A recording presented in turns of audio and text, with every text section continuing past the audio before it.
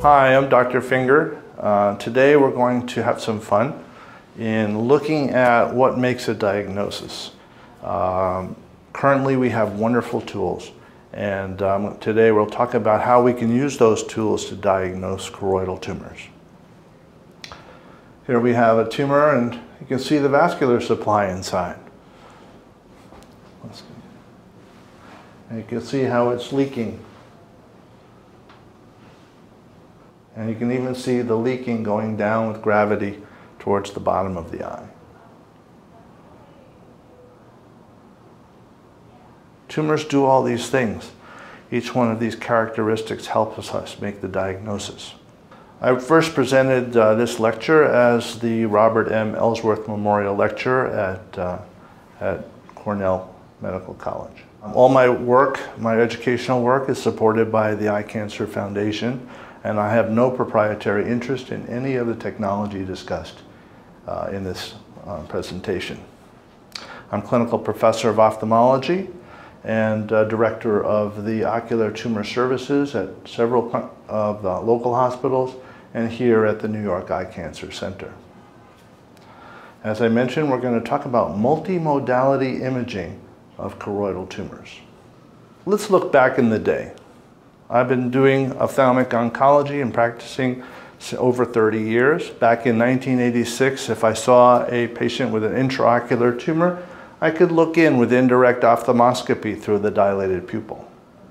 I could do an ultrasound and look at the tumor shape and internal reflectivity with a A-scan.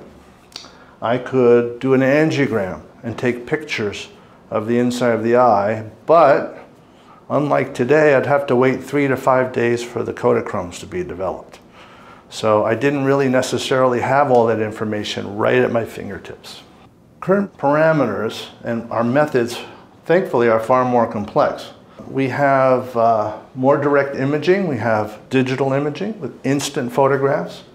Uh, we can look at tumors today and compare them to three months ago instantly when the patient walks through the door and has a photograph. Uh, we have some indirect imaging like uh, OCT imaging to look inside the retina or under the retina. We have better ultrasound machines and we have things like physiologic imaging like PET scans and PET CT scans. Uh, we have other forms of physiologic imaging like fundus autofluorescent imaging. Here we have, we look at the tumor with a certain wavelength of light that accentuates lipofuscin, which is a uh, chemical that's given off by dying cells. And you can look at the tumor here, you can see a bit of orange pigment on its surface, but look at the fundus autofluorescent image, and you can see dramatically that there's a whole pattern of this chemical, which is one of the diagnostic criteria for distinguishing between a nevus and a choroidal melanoma. We have dynamic ultrasound imaging. Can you see the twinkling inside the tumor? That's blood flow. Sort of like a Doppler, but without the color. And seeing that twinkling helps us distinguish between tumors that have internal vascularity and ones that don't. I'll show you an example of one that doesn't. There's no twinkling there. We have a thing like sludging. As the eye moves, the contents just sludge over. We see that with hemorrhages underneath the retina. But looking at it just as a, a mass, one might think they were also a melanoma. We have this movement too. This is after movement or of shifting fluid. Shifting fluid is characteristic of a choroidal melanoma, so it's the detachment associated with a choroidal melanoma, which shifts with gravity. Those were some of the most common tools to evaluate choroidal tumors. Some of the newer tools that we have. So I sat down and tried to figure out what were the most common findings of all these tests that we can currently do for choroidal melanoma. And I came up with this. Oh my. So now we have ophthalmoscopic findings. They're usually pigmented, thickness, fluorescein angiographic findings, fundus autofluorescent imaging findings, ultrasonographic findings, OCT findings. We didn't have OCT back in the day. And even radiographic findings, MRI findings, and PET CT findings. So how do, what do we do with 50 findings? Well, sometimes you can simplify them by eliminating the most unique findings and, by, and highlighting them as being most important. So what do we do with this diagnostic complexity? There are over 50 findings on that slide. What we do is we can eliminate the least unique tumor characteristics and highlight the most important characteristics. And if we do that, we have something like this.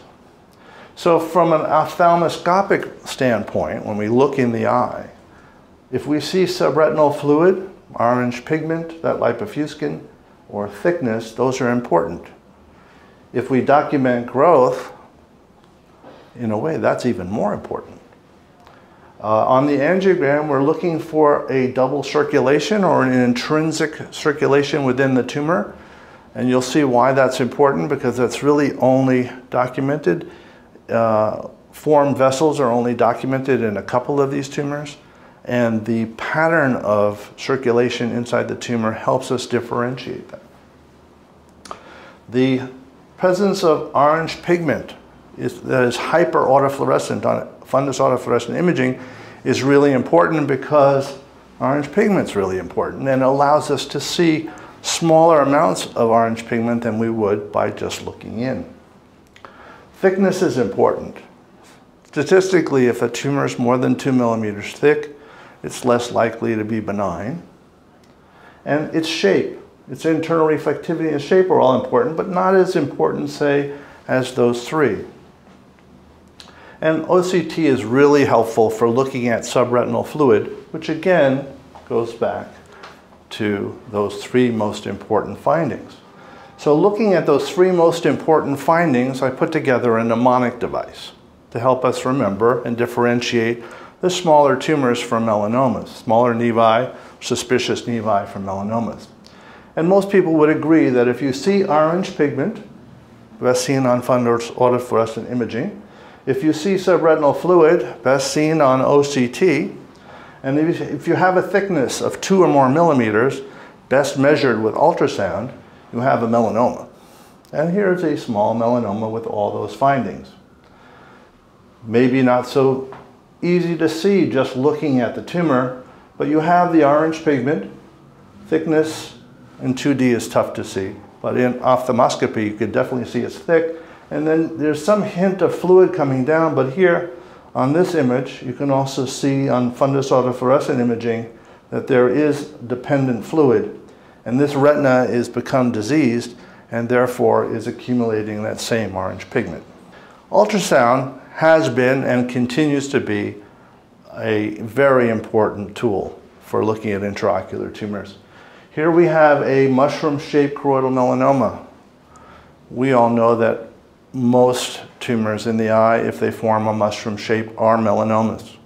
There are some pseudomelanomas that can form mushroom shapes, but they're unusual. You can see the retinal detachment also on the ultrasound, and you can see the internal reflectivity on this A scan. So A scan is like a pencil of sound that runs through the tumor. And you can see that 45 degree angle as the reflectivity goes down at that rate, and that is very classic for a choroidal melanoma.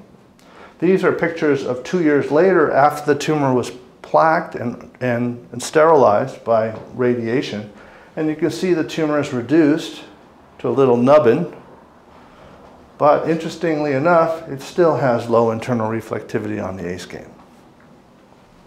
So let's do a tough case. That was a very straightforward garden variety type case. So here we have uh, a 50-year-old lady who came in with this variable pigmentation around the disc and some fluid down below. And uh, this is the clinical picture. And most people would agree this is not very impressive uh, in itself or diagnostic in itself. But on the OCT, especially this EDI OCT2 that we have from Heidelberg, uh, we have the tumor beneath the retina, We can see the subretinal fluid best with OCT, and you can even see the photoreceptors are degenerating uh, around above the tumor. On uh, three-dimensional reconstruction of the OCT, which is very helpful, uh, also called rasterized uh, image, uh, we can see the subretinal fluid beneath the retina and also the dysmorphic photoreceptors and the tumor beneath that. So we have this tumor with subretinal fluid. On fundus autofluorescent imaging, and remember that was the best way to see lipofuscin, we can see definite hyperautofluorescence around the disc. We can also actually see the subretinal fluid, which may be quite fresh because there's not a lot of orange pigment in it. So this tumor has thickness, orange pigment, and subretinal fluid. With thickness of two or more millimeters, that's a melanoma. So let's look at circulation patterns. Fluorescein angiography is quite helpful. This is a different tumor. This tumor covers the nerve, and you can actually see on the color photograph, you don't even need an angiogram. You can see the tumor's blood vessels underneath the retina. Of the four most common choroidal tumors, uh, melanoma and osteoma are two that where you can actually see blood vessels on, beneath the retina on the tumor. But when you do an angiogram, it jumps out at you. You can definitely see the intratumoral blood vessels, and you have to catch them early because they leak. And so I suggest you make sure you get early frames. You can also see small aneurysms coming off of those vessels. But typically melanomas are slow growing. This particular tumor that we just saw grew this much in a month.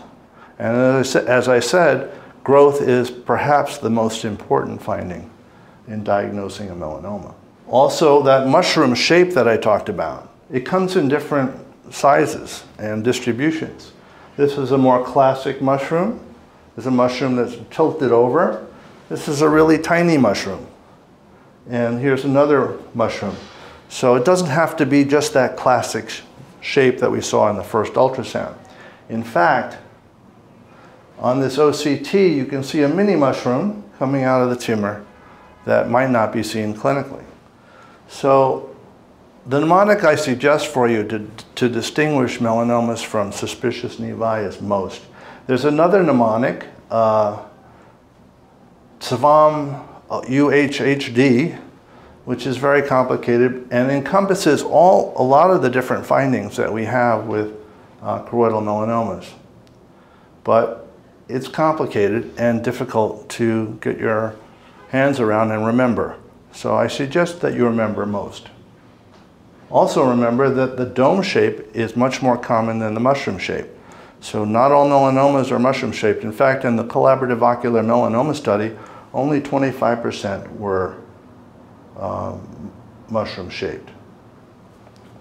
So in summary, most beans, orange pigment, best seen on fundus autofluorescent imaging, subretinal fluid, best seen on OCT, or most reliably seen on OCT, and thickness of more than two millimeters by ultrasound. It's simple. So let's segue a little bit to the most common choroidal malignancy though it's not primary. The most common choroidal malignancy is choroidal metastasis. And I went through the same exercise.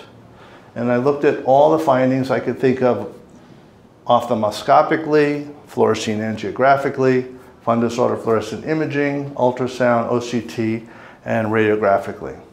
And what did I come away with? Well, if you look in, most of them are fairly lightly colored. They tend to have overlying uh, retinal pigment epithelial spicule, RPE spicules. They tend to be faster growing than melanomas, which is very important.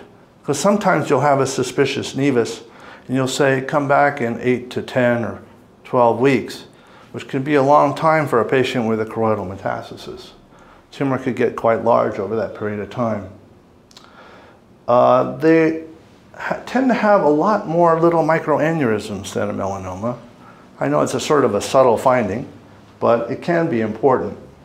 And they tend to have a different, slightly different pattern of fundus autofluorescent imaging. Uh, they, since they grow quickly, they're consuming the retinal pigment epithelium, and those little islands of pigment are often residual RPE that have a lot of lipofuscin in them, so they light up quite dramatically. In terms of ultrasound, the internal reflectivity of a metastasis is like the primary. And as we know, most metastases come from either lung or breast, so they're fibrous. So when the ultrasound goes through them, they hit little fibrous elements and they are spiky. So they have variable internal reflectivity. Uh, they tend not to have the twinkling that we saw of a melanoma because those blood vessels in a metastasis that are growing quite quickly haven't had as much time to form. And so they're more leaky and less uh, able to be, uh, less, they're smaller and uh, less able to be observed. Um, in terms of OCT, uh, unlike a melanoma that tends to be more dome shaped, a uh, metastasis tends to be more irregularly shaped. And so that helps us also with the diagnosis. As you see, there's a number of other findings, but those are really the clinical findings that you can use in your office to help differentiate a metastasis, say, from a melanoma. Also, PET-CT, as you will see in the next slides, can be quite important. So I tried to think of a mnemonic for metastasis, and I came up with GRIM. That probably suits uh, the process. Uh, growth, as I said, much more rapid growth than a choroidal melanoma, best documented by photography. So you get a photograph when the patient comes in, get another photograph when a patient comes in the second time. If you are observing a small lesion and you think it might be a metastasis, you may observe the patient at first. Uh, the RPE spicules are fundus autofluorescent positive, and you can see examples of the little pigmented spots on top, which will light up with the fundus autofluorescent images.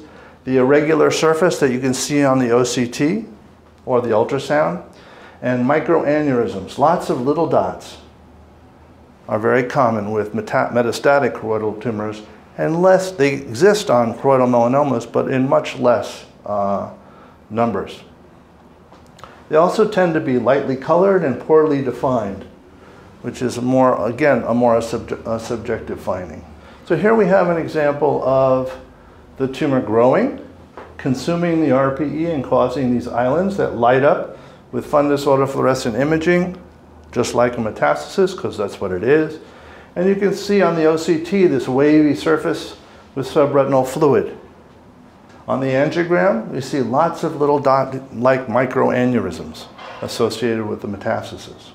Here's another, another metastasis. Here we have again the wavy surface, subretinal fluid.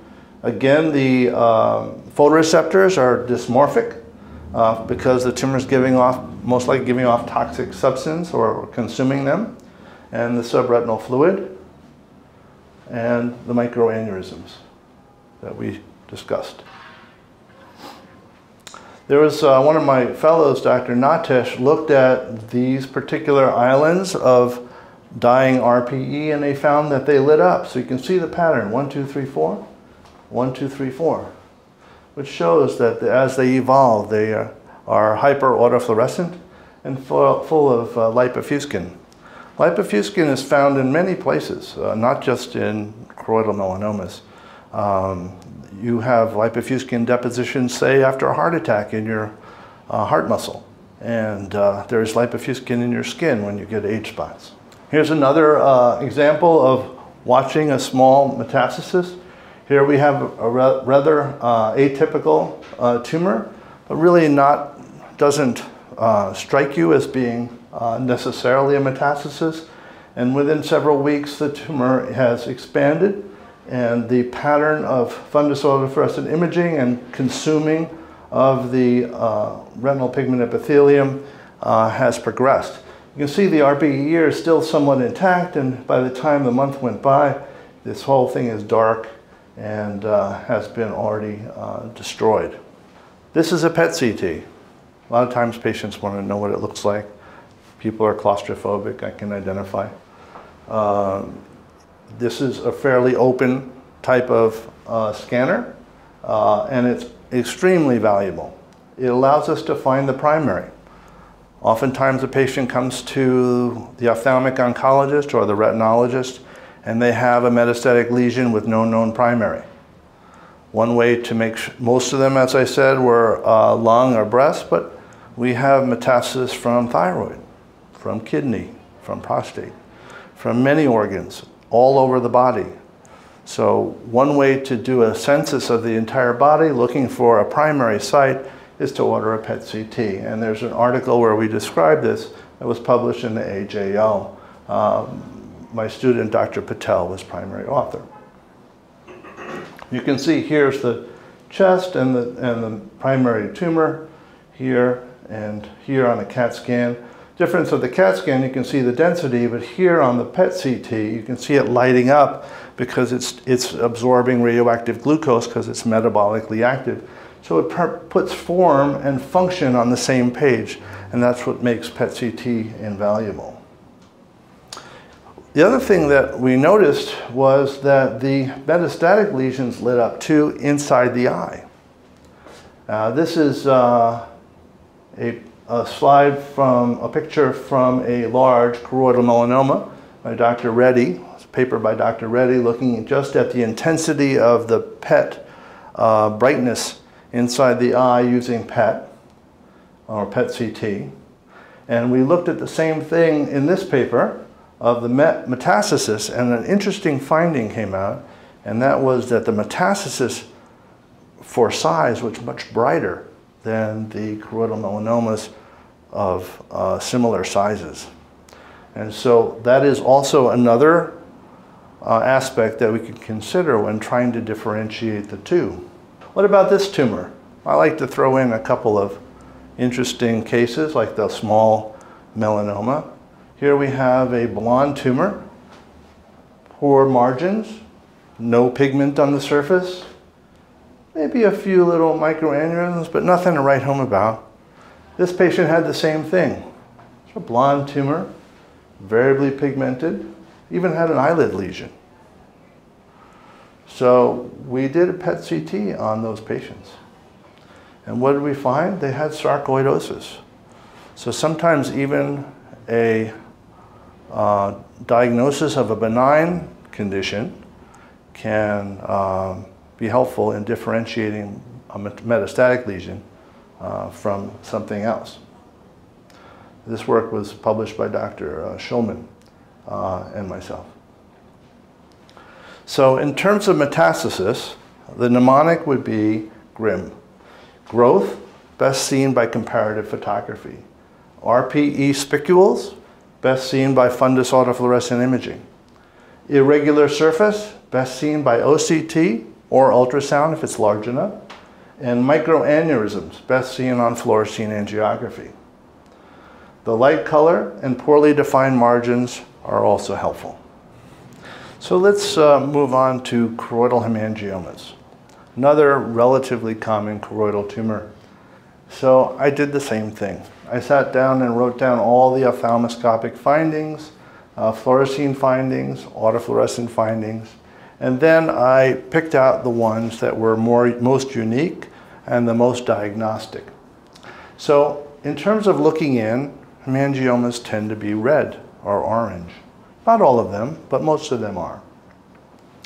They uh, tend not to grow. Um, I can't remember one tumor that, hemangioma that I saw grow significantly uh, over a six month period of time. Uh, on the other hand, oftentimes the patient will come in with a history of hemangioma, uh, which is quite helpful in differentiating it from anything else. Uh, it has a very unique fluorescein pattern, which is really quite helpful, uh, called a coarse vascular pattern. And it can have a few microaneurysms like we saw with melanomas and metastatic disease, but nothing like uh, those two. Uh, ultrasound findings are also very uh, consistently different. Uh, they tend to have very high internal reflectivity, and I'm going to explain why. And OCT in, in this case uh, can show things like cystic changes and subretinal fluid, but they're interesting and they are findings that you see with choroidal hemangiomas, but not necessarily helpful in differentiating them from other tumors.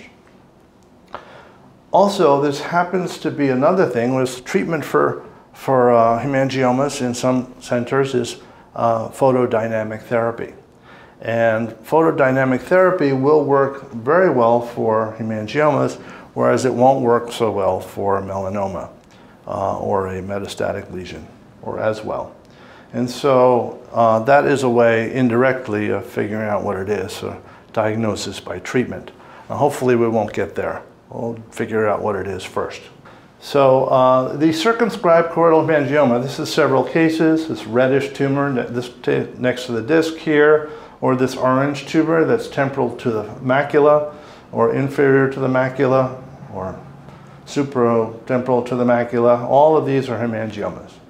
They tend to be reddish, uh, have a moderately high internal reflectivity, and a coarse vascular pattern on angiography.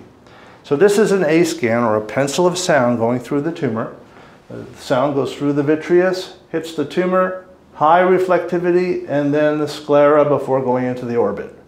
Remember the melanoma was low reflective and the metastatic lesion was variably reflected because it had those fibrous elements like breast and, and lung.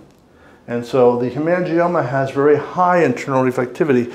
And the way I like to remember it is that this is a blood vessel tumor, and these are very formed blood vessels. So there's a lot of echogenic uh, spaces and differences within the tumor. Each time the sound hits one of those differences, it reflects more sound back and causes a higher spike. So it's a very uh, reflective tumor. Here's a B scan of hemangioma, and if you don't have an A scan or you don't know how to use an A scan, you can just look at the tumor and you can see that it's bright compared to, say, uh, the choroid or definitely the vitreous. If you look at hemangiomas and compare them to melanomas, melanomas tend to be more moderate or low reflective. You can see if you have color in your uh, ultrasound machine, you can colorize the photo and that accentuates the differences and the high internal reflectivity. So here's a fluorescein. So here we have our hemangioma, the reddish tumor. You can almost see that there are vascular spaces in there, but when you start the angiogram, you can definitely see this coarse vascular pattern. If you remember, the, the melanoma had almost tube-like blood vessels, and the metastatic lesion just sort of leaked had very poorly formed vessels, but the hemangioma has jagged and well-formed vessels. You have to catch it early again. If you wait too long in the angiogram, it's just going to fill, and you won't see the jagged edges or the coarse vascular filling associated with hemangioma. This is the late pattern. This doesn't help anybody. It's just leaking. And so it's very hard to see the coarse vascular pattern if you wait to the late phases of the angiogram. Here's a tougher case. So here we have, it is reddish, but you don't really see any of the structures inside the lesion. And we do the angiogram and we see again the coarse vascular pattern. So that's helping us make the diagnosis. Later phase of the angiogram, you do see a few scattered microaneurysms but it's nothing like the melanoma or especially nothing like the metastatic tumor. On the OCT, now this is quite interesting. You'll see the subretinal fluid, as you see on OCT, and OCT is one of the most sensitive methods for finding subretinal fluid. But remember, both with melanoma and the metastatic lesion, you had dysmorphic photoreceptors. But in this tumor, which is not giving off the same uh, toxins and making the same changes in the overlying tissues, the photoreceptors look relatively intact. Here's a fundus autofluorescent image showing some mottled hyperautofluorescence uh, associated with this uh, hemangioma. So you can have hyperautofluorescence with hemangiomas, but typically when they are leaking or doing something active. The B scan showed the high internal reflectivity for review, better seen with, with uh, colorized images. So in review of critical characteristics of choroidal hemangioma, we have the high internal reflectivity, best seen on ultrasound. We have the reddish color, best seen by photographs or by looking in with ophthalmoscopy. And that coarse vascular pattern, best seen by fluorescein angiography. I'm trying to think of a mnemonic, it would be HRC, but that's a little passe right now. The next tumor I'd like to talk about is choroidal hemorrhage. And choroidal hemorrhages can be difficult um, because they can look pigmented. And sometimes uh, people have even done surgery on them for melanomas, uh, thinking that they were melanomas. So we have to be very careful and look at these characteristics critically to try to separate out the choroidal hemorrhage from the melanoma. So when you look in, the hemorrhage tends to be more black or white or even red. Red like blood, white like dehemoglobinized blood, and black like old blood. So if you see these things, they can be seen with a melanoma, but they're very unlikely and you almost never see them with a metastasis. Look at the edges. The edges are very telling. If you see a little blood around the edge, it could mean quite a bit. If you look at the surface of the tumor, you'll see folds. Sometimes they're so remarkable that they look like corrugated cardboard. And look for synchronous age-related macular degeneration. Um, if you're looking at an, a tumor that's in the peripheral part of the retina and it's an older patient and they have exudative macular degeneration as well, that should be put in the calculation when you're making the diagnosis. The other thing about bleeding is it changes. Just like a bruise that you may have on your arm, uh, it will change ra rather quickly. So observation can be very important in uh, diagnosing a choroidal hemorrhage. Uh, they tend to get smaller over time, unlike melanomas and metastasis. So sometimes you can, if you have a high index of suspicion that you're looking at a, a uh, hemorrhage, then you can see the patient back in three or four weeks as long as it's not sight threatening. And if you notice that the tumor is getting smaller, then you have that extra uh, bit of information that may be helpful in making that diagnosis. Uh, in terms of fluorescein, that you can see a, a blackout. Bleeding in front of the choroid makes it go black. And so that's a very unusual and very pathognomonic finding. There's early blackout and late blackout. It just blacks out through the entire phase of the study. And other things include a sharp scleral demarcation, which I'll show you. Uh, sometimes you'll see blood stuck to the inner retina, which you never see with, or almost never see with other tumors and that corrugated surface. There is a lot of literature on doing MRIs on uh, eccentric disciforms and choroidal hemorrhages. Uh, they also change over time. So unless you're going to be committed to doing serial MRIs, I don't find them that helpful. So here's my mnemonic for uh, choroidal hemorrhage, Bach. Do a little classical music mnemonic. Uh, it blocks fluorescence. There's after movement, which we'll see on the ultrasound. They change relatively rapidly over time. And look at the edges for hemorrhage. So here's a choroidal hemorrhage. You can see the white dehemoglobinized blood, the black blood, and the hemorrhage along its edge. That's a pretty easy one. Look at the angiogram. There's a total blackout there.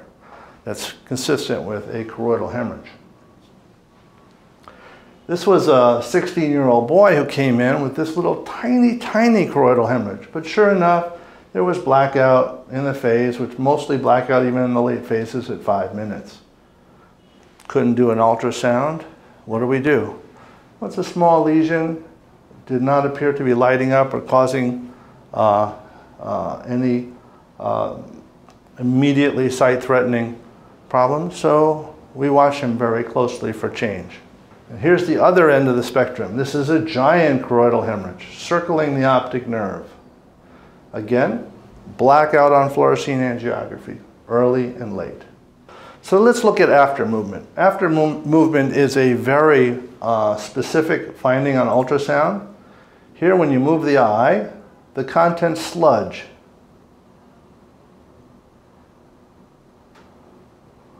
There's no twinkling like the vascular pattern with a melanoma. There's just this after movement of material that's underneath the retina that's, that can't stop until it comes to rest. On the OCT, we see a very irregular surface, almost corrugated. And the other finding, which I find really helpful, is right at the edge of the lesion, you will often see an abrupt, almost 90 degree elevation. Uh, the choroidal tumors infiltrate the choroid and lift up the retina in a more, uh, in a less dramatic fashion. So you, you won't see this 90 degree or in this case 75 or 80 degree elevation at the edge, uh, that, like you will. Here's another one. Look at this 90 degree elevation at the edge, uh, characteristic of a choroidal hemorrhage. This is uh, a uh, higher magnification image of the same. You look at the choroid here, it looks normal. There's no tumor in it. And then all of a sudden, boom, you hit the tumor and you're up. And the tumor is not from the choroid necessarily, or it could be way down yonder. But at least here, it's subretinal material, which in this case is blood. This is uh, the best picture of the corrugated surface. You can see the little red ridges on the surface of the choroidal hemorrhage. This is the color picture. The angiogram is more dramatic. And on the OCT, you can see this corrugated surface. I expect that the bleeding happened. It lifted up the retina, and as it reabsorbs, it's coming down, and everything was stretched, and now it is rippled. On ultrasound, they tend to be lower reflective, like fluid, because blood is close to fluid. So ultrasonography is actually a great way to, along with observation, of monitoring how the, the tumor changes over time. And there are select ultrasound characteristics that also can be helpful. And I thought I'd make a little display of these. Uh, one is that the tumor sclera interface is very sharp. You can see that with, with a number of tumors, but you reproducibly see that with choroidal hemorrhages.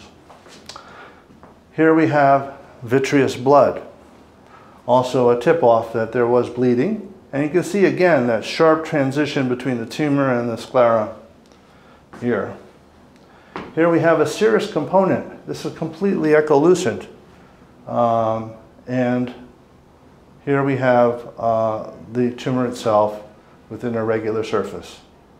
So, Bach blocks fluorescein after movement that we could best see on ultrasound imaging uh, change, relatively rapid change over time, and the hemorrhage at its edges.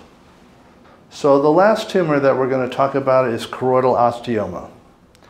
And oftentimes patients are quite surprised that they can actually develop bone inside their eye. That's what it is. It's a piece of bone underneath the retina. Uh, they tend to be yellow. They have scalloped edges, unlike the other tumors.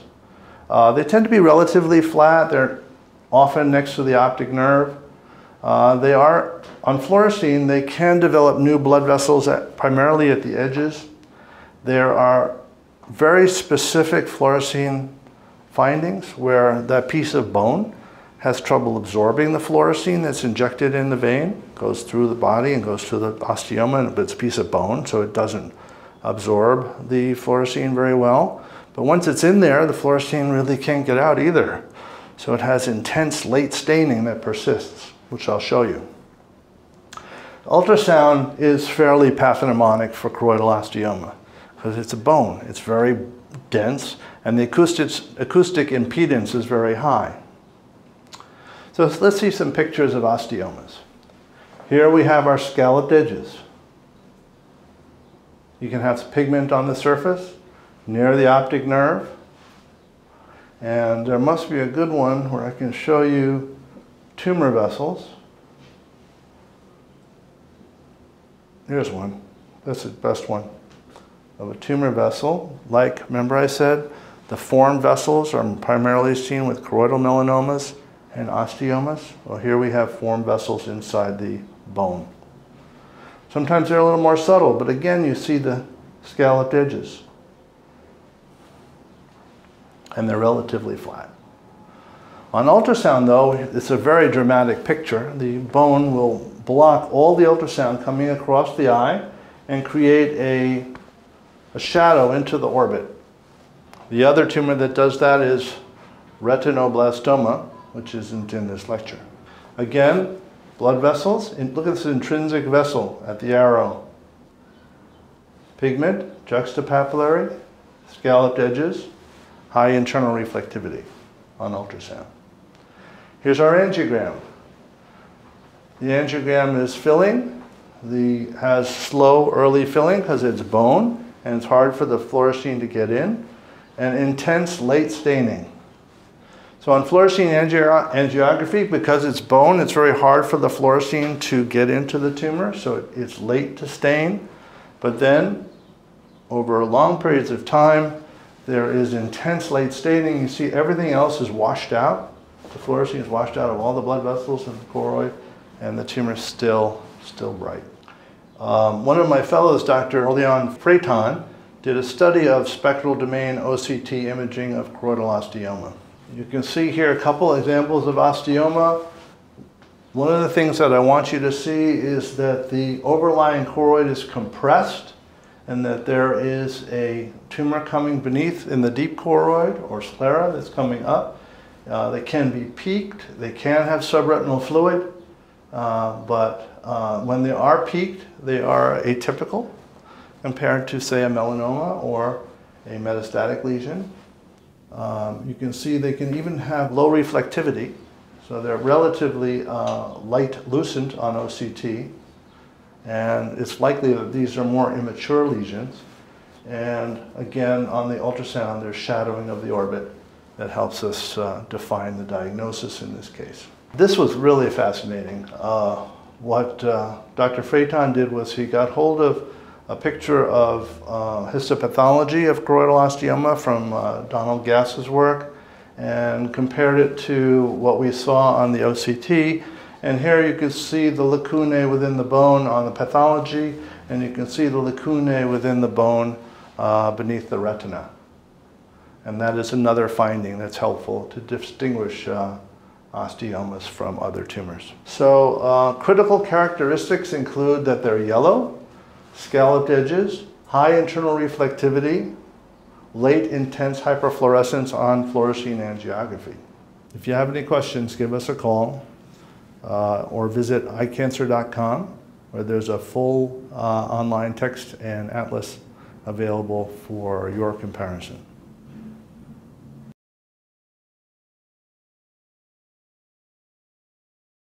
I want to take a moment to thank you for your attention and to thank the Eye Cancer Foundation, who supported much of the research presented in this lecture, and for their committed support for international multi-center cooperation in ophthalmic oncology. Thank you and have a nice day.